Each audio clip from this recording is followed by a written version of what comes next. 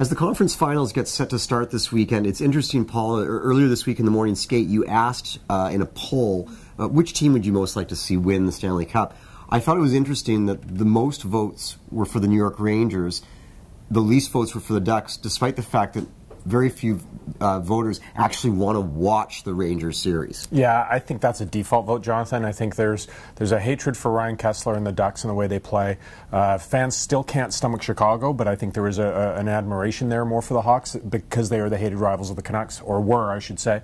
Um, no one really cares about the Tampa Bay Lightning except maybe Pamela Anderson, and then you have you know the Rangers, and they do like Alain Vigneault, and I think that there's some voting for Alain Vigneault, but I think a big chunk of it is just indifference. They're the they're the least likely that for, for Canuck fans to hate because they've forgotten 94. Well, you've got AV, though, in New York, and you've got Jon Cooper, who's a BC boy in Tampa. Yeah. Well, it's funny, right? We hated the Rangers, and well, we had, we didn't actually like the Rangers, but 95, 96, 97, those are the teams no one would want to see win now. Canuck fans want to see them win.